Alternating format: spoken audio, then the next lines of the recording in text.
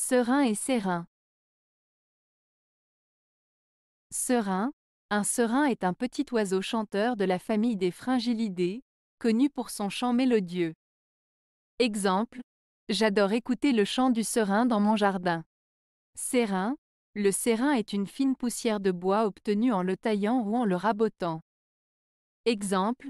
Il faut nettoyer le serin après avoir effectué des travaux de menuiserie. La différence principale entre serin et serin réside dans leur signification et leur utilisation. Serin se rapporte à un petit oiseau chanteur, tandis que serin désigne la poussière de bois.